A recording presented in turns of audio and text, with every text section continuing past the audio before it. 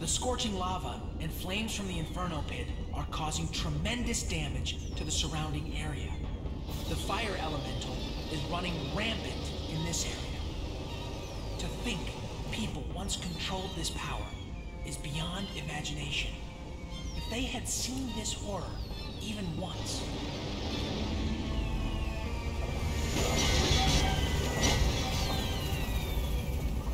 How do you plan on getting through this?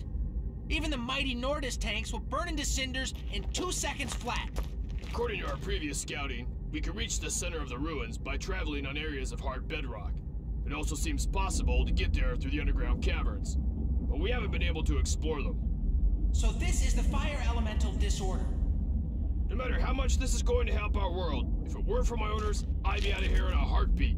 You seriously want to go all the way to that volcano? Commander! Something's not right! Look at that! I, uh, I don't see anything. Don't worry about it. This is a minimum risk area. You can't see that light? Commander, something strange is happening with the ruins!